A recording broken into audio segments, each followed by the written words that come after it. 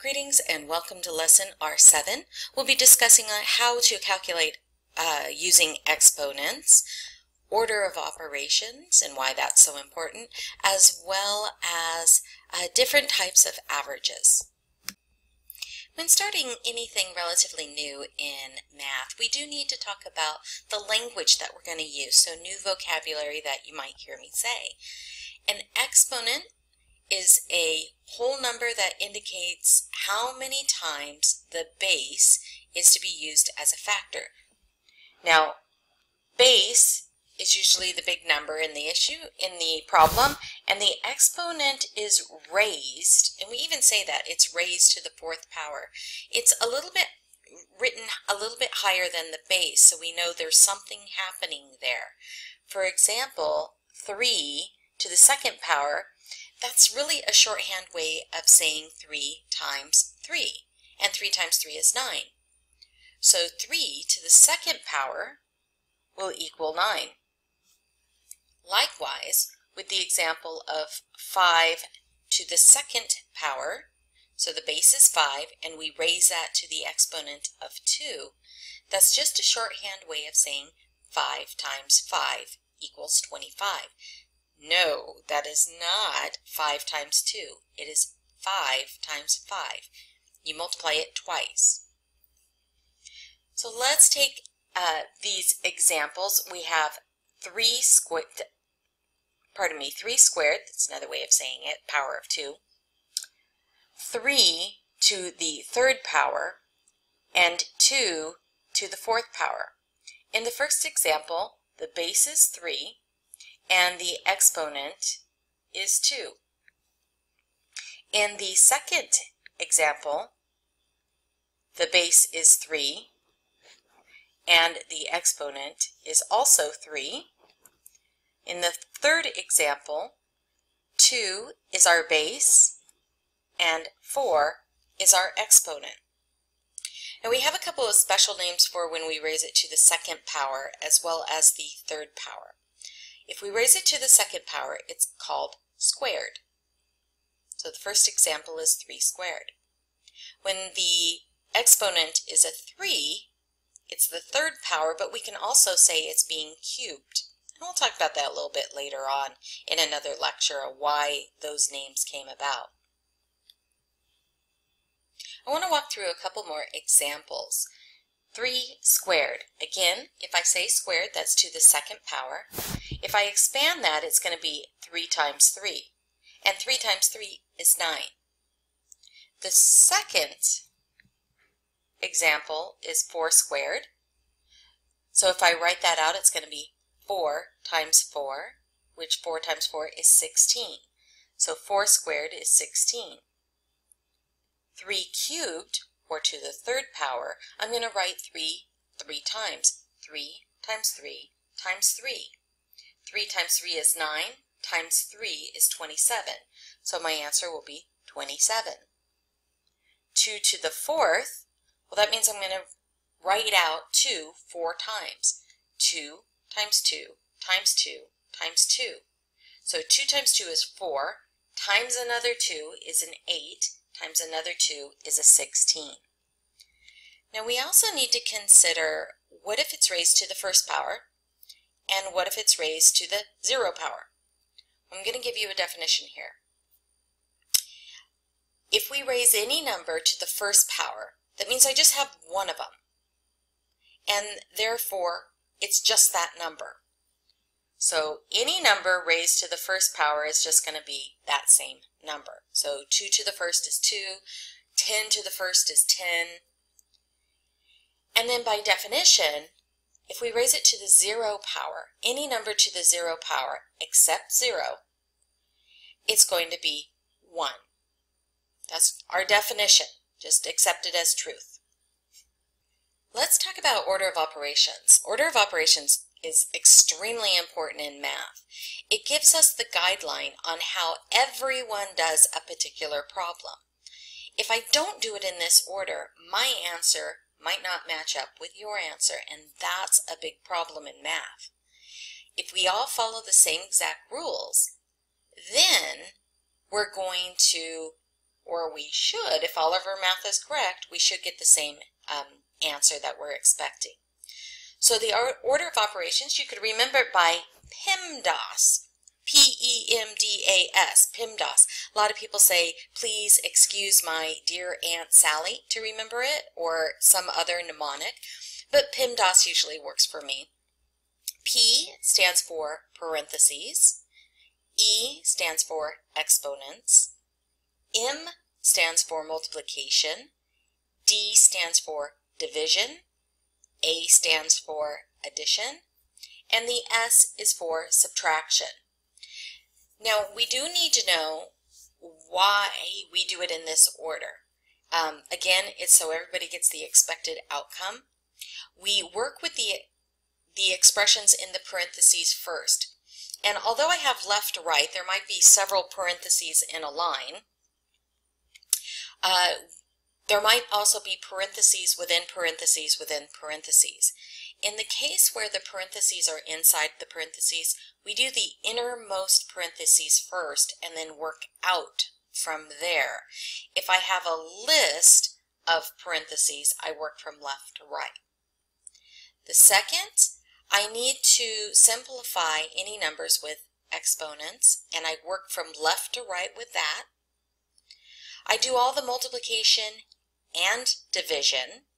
So multiplication and division are at the same level. And if I have 2 times 4 divided by 5, I'm going to do it in that order all at the uh, all at the same time frame. I'll go from left to right. And then addition and subtraction.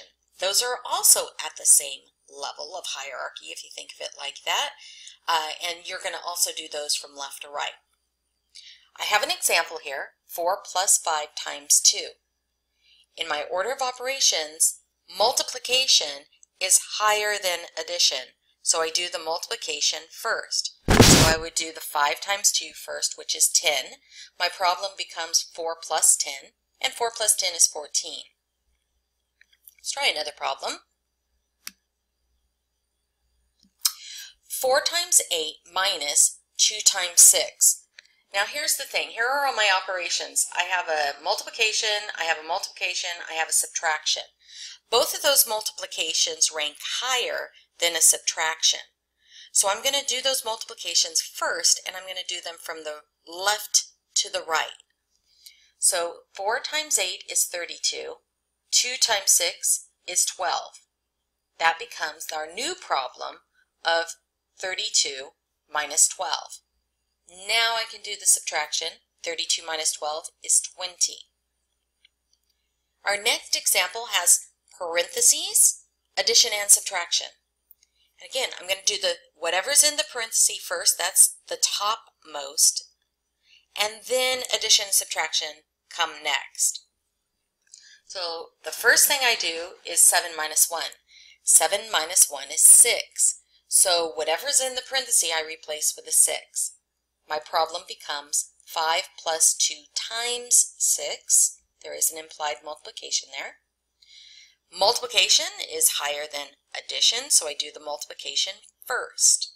2 times 6 is 12, so now my problem becomes 5 plus 12.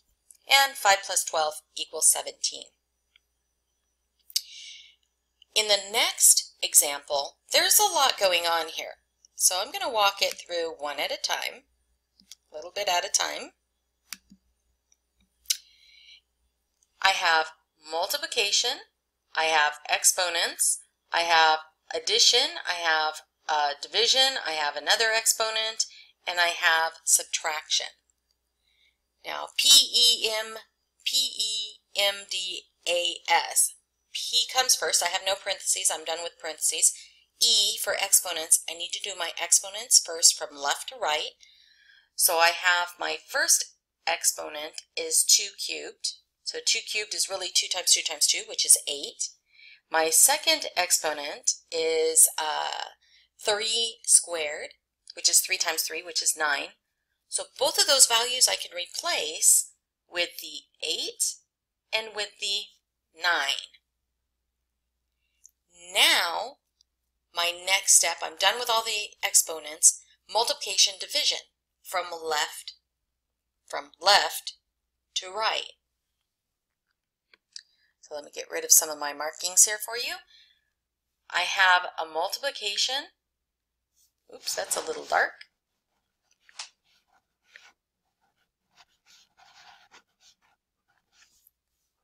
We have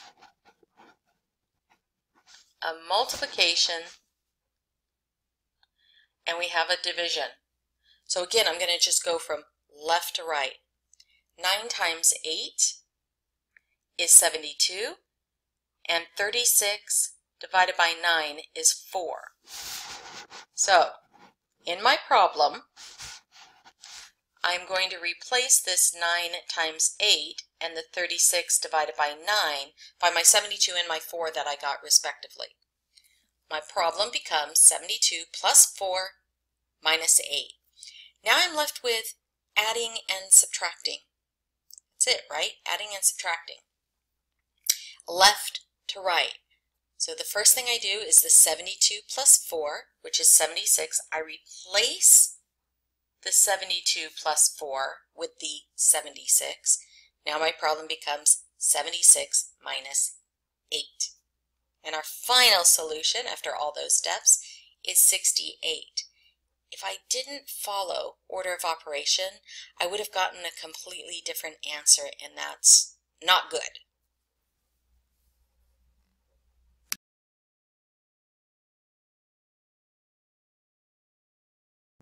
One of the, I think, most difficult things about math can be where do I get started? So for order of operation, you at least want to figure out what mathematical operations are going on. Let's try another problem, and I'm going to try and mark it up very carefully with I have multiplication going on, I have exponents going on, and I have addition going on here. I have to think about, in my order of operations, what do I do first, what do I do next, what do I do next? exponents, multiplication, addition. So I'm going to do all of the exponents first, left to right, then the multiplication, then the addition. So 2 cubed is going to become 8. 4 squared becomes 16.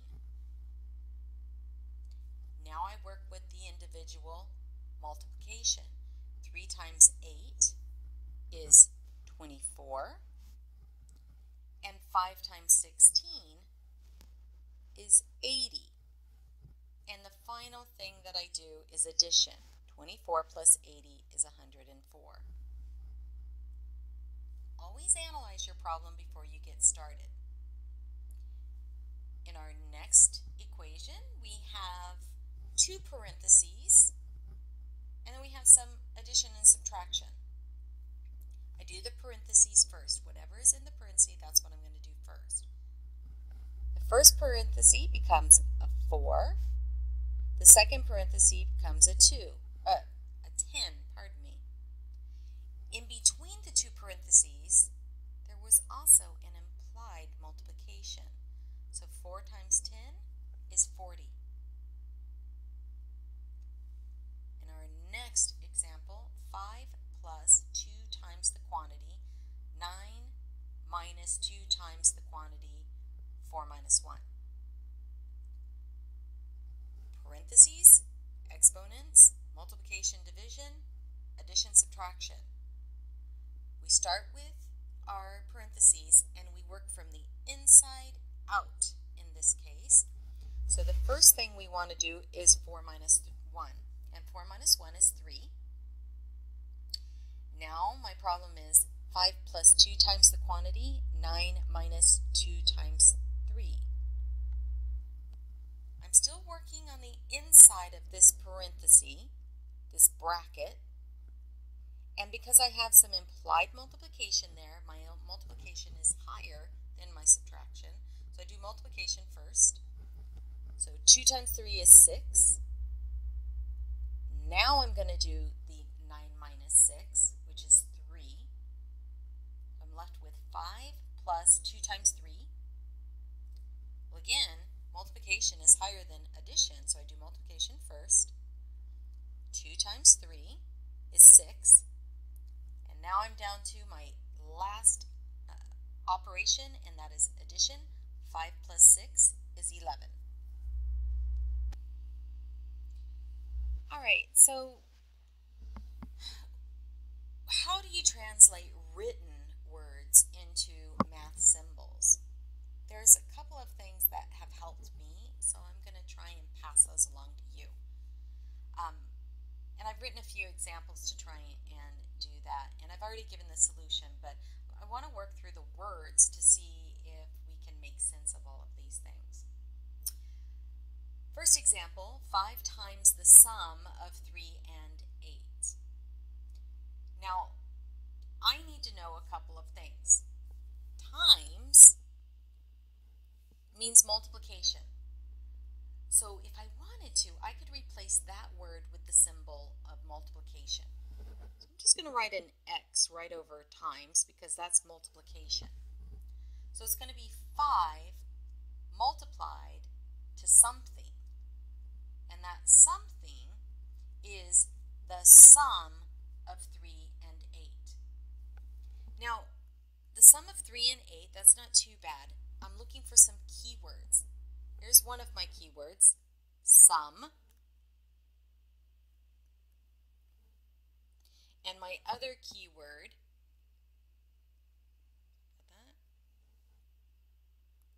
is and. Sum tells me what the operation is. The AND tells me where I'm going to put it. Hopefully this is making sense. Sum tells me it's addition. AND means that I'm going to put it right here. Come on, pen, change. All right. Now I can get rid of all of the words, except it is the sum of 3 and 8. I have to put some parentheses there. Now if I drop all the words, it becomes 5 times the quantity 3 plus 8. Now let's try this again with the second problem. Going to erase all my markings for the first one, just so it's a little bit cleaner. Twice the difference of 4 and 3. When you see twice, you should immediately say times 2. Whatever it is, is going to be times 2. So twice becomes 2 with the multiplication symbol. 2 times what? Okay, I'm looking for those key words again. The difference and. Difference means subtraction and tells me where the symbol goes. So I change that into a subtraction. And then whatever is on the left-hand side of the subtract symbol what's ever on the right hand side, I have to group in a parenthesis. See how this is kind of building? At this point, I have no more words to deal with. That's my solution. 2 times the quantity 4 minus 3. Let's try another one. I hope this is this process that I'm working with makes sense.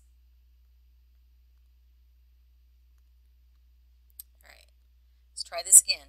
6 added to 7 times the sum of 5 and 6. Well, 6 added to, the good thing is, is um, addition works in any order, so as soon as I see added to, that becomes a big addition symbol. 7 times, well, in the olden days, we called multiplication times, I'm just going to change the times to the multiplication symbol. And now I have to deal with the sum of 5 and 6. Remember, I'm looking for those keywords. The sum is addition, and and tells me where I put the addition sign. So, here's my addition sign. Whatever's to the left of the addition sign, I have to group with whoever what's in the right of the addition sign. Now all my words are gone. What am I left with? 6 plus 7 times the quantity 5 plus 6. Is, I hope this is starting to make a little sense. At least this is how I get rid of all the words and get down to the math stuff. Okay, our next one. The sum, remember our keyword, the sum of 4 times 5 and, I was just looking for my and, 8 times 9. All right, the sum is my operation. The and tells me where I put it. So here's my operation. Whatever's to the left, I have to make sure I've grouped. And whatever's to the right, I have to make sure that I've grouped it. But now I have to look what's on the left. Well, 4 times 5 is on the left and 8 times 9 is on the right. I can immediately replace the times with a multiplication symbol. But I have to be very careful here because I'm only multiplying 4 times 5. So I have to put that in a little parenthesis. So we'll say there's a second parenthesis in here. And then likewise on the left-hand side, 8 times 9, I can replace the times. But what is happening to the times? Just the 8 and 9. So I have to put parentheses around that. And you'll see my final solution doesn't have the big parentheses out. It's just a good habit to get into. If you see a keyword like sum or difference, you find that and, whatever's on to the left, whatever's to the right, you put parentheses around it. So now I have the quantity, 4 times 5, plus the quantity, 8 times 9. I know these get complicated very quickly. Alrighty. 3 subtracted from the quotient of 10 and 2.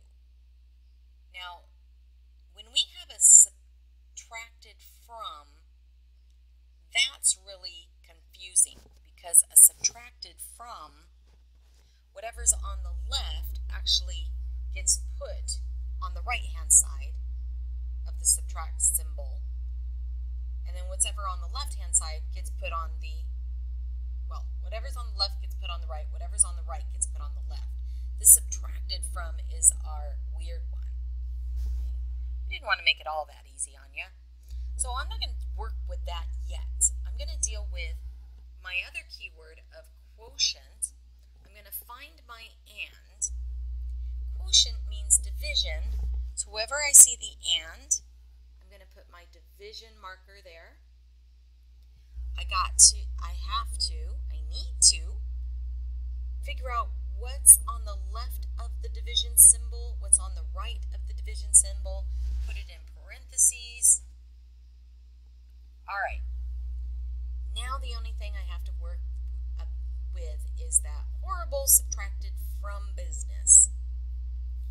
What that means is you take the 3 put it in back, and you put a subtract there.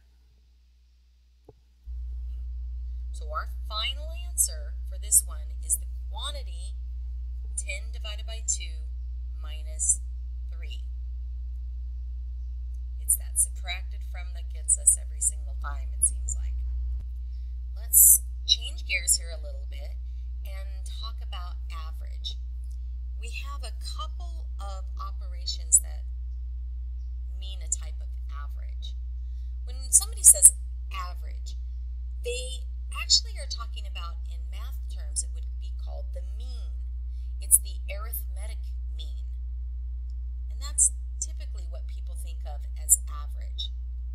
How you calculate it is you have a set of numbers that you're working with. You have a set of data. You take those numbers, you add them all up, and then you count how many numbers you have, and that's the value you divide it by. For example, I have firefighters' wages up here. I have five values. One, two, three, four, five. That's what I'm going to divide by. Five. I'm going to add all those values up. That becomes my numerator. Then the quantity of how many I have becomes my denominator, and then I do that math. So if I add all the values up, 59,687 plus 60,880 plus 62,098 plus 63,651 plus 56,879, I add all the th values up, I get that total of 312,195.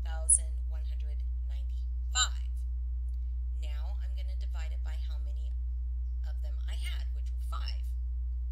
So the average, the mean, the arithmetic mean, is 62,439, which means the average firefighter wage is 62,439. Some people are going to get paid more, some people are going to get paid less. The arithmetic mean has um, really great uses for it, but sometimes, sometimes it's not really the best way of looking at information. So we have another way of looking at information, and this is called the median. And you may have heard this occasionally. It will say the median wage for a particular city is 50,000. That, that is not the same thing as the mean. It's not the same thing as the mean. The arithmetic mean, which is our kind of standard when we just throw out the word average, that's the average. The median, what you do is you write all of your values down from smallest to largest. And if there's an odd number of values, that's perfect. That's great. There's not much I have to do except I find the very middle value. That is our median. For our example for the firefighters, I write it from the smallest value to the largest value. So 59,687, 60,880, 62,098, 63,651, and 65,879. I have five values. Perfect. That's an odd number of values. So I just start working and from each end and I find the middle value. The middle value is our median. So why is this so important to have this? If you can imagine, you have 10,000 people living in your neighborhood. And 9,999 of them make $23,000 a year. One person in your neighborhood makes $3 trillion. What did the mean, the average, you add all the $23,000 up, you add that one $3 trillion person, and what happens is that if you said your average yearly wage for that neighborhood, it's going to be something like in the high hundred millions. Well, it's not accurate. I mean, most everybody except one person makes $23,000. So it makes sense to have this option of doing this median. You write out all the values, you find the middle one, which would be $23,000, and the median um, salary, annual salary, is $23,000, which is a more realistic view of that neighborhood versus that one person making all that money. So median, a lot of government um, data will talk about the median. Now that works great if you have an odd number of values like we did with our five firefighter. But what happens if you have an even number? Well, if I take the middle, there is no middle number there. So what we do is we take the two middle numbers and then we take our mean from there. For example, with a set of even values, I have 40,050, 40,662, 41,007, uh, 41,474, 42,926. Again, they're nicely ordered. I take the two middle values. Now I do the average, the regular old mean on it. I add the two of them together, divide by two. So my median is 41,068. That's not going to be the same thing as if I added them all together and divided by 4. This is the median, not the mean. The last type of average is called mode. And the mode is just the number that happens most frequently. So you have a set of numbers, and uh, like our example with the 23,000 and the 1% made 1 trillion, the most often happens 20 is the 23,000. I have an example here, a math class with 18 students, and they scored the following on their first test. And I'm not going to read off all the numbers, I'll read off a few 77, 79, 56, 87, 85, 75, and so on. Now, I've worked all three of these different type of averages out. The mean is going to be, you're going to add up all the scores and divide by 18. So if I added all of those scores, it, be, it is 1,476. I divide 1,000 1,476 by 18. I get 82. So my mean score is 82. The median, I'm going to list all the numbers in order, in value order, and remember I have 18 values. 18 values is an even number. So I take the two middle numbers, which those are 85 and 87, and I divide it by 2. So my median score is 86. My mode, the one that happens most frequently, is you just look at the data and you say, oh, 77 happens one time, 79 happens three times, 56 happened once, and you keep going until you find the value that happens the most. And it looks like 87, 87, 87, 87. 87 happens four times, so that is my mode. So you see, each of these actually came up with a different calculation, but they mean something, and I, I don't. They're they are meaningful. The mean will tell me overall how my values kind of lie. They're in the B range. They're in the low B range.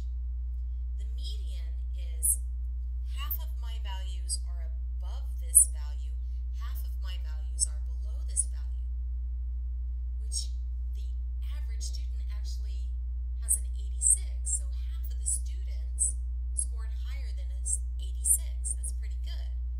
The mode is what number free appeared most frequently, and that's 87. So out of all the students, the number that happened the most is 87. So we have average, the, which means the arithmetic mean, or just the mean. For range, set of d numbers is the difference between the largest and the smallest number in the sample. Um, that's the range, all right? The range, you take the smallest number, you take the largest number, you subtract the two, and that's the range. For example, 1 to 10. So I have 1, 2, 3, 4, 5, 6, 7, 8, 9, 10. 10 minus 1 is 9. The range is 9. What does that tell me, though? It tells me my set of data has is like 9. Right? If I had 1 to 100, 1 minus 100 is 99. My range is 99. It's a larger range. Just gives us more data to work with. So I'm giving you a couple of examples. Okay? So find the mean, median, and mode for 1, 2, 3, 3, 4, 5, 6, 8. And then find the range for the set 14, 18, 27, 36, 18, 73. Remember for the range, you take the highest number, subtract the lowest number, and that's going to be your range. That's it for this video. So I know it's a lot of information, uh, and if you need, you could refresh certain areas. If you have any questions, let me know. Otherwise, until next video, be seeing you.